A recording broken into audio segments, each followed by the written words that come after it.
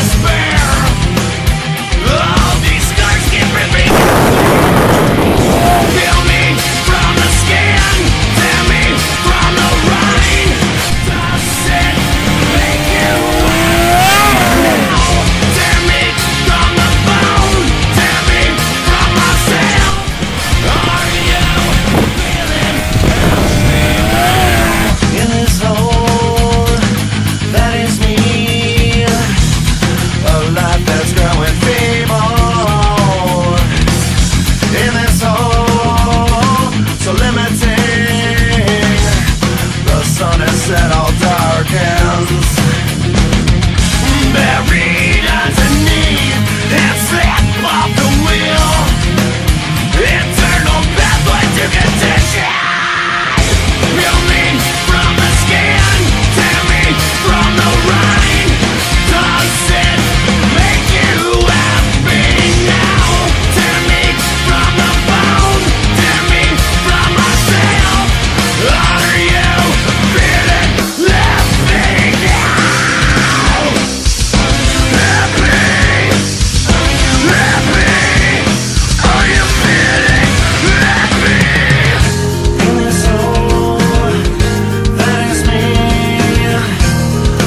with our heart exhausted.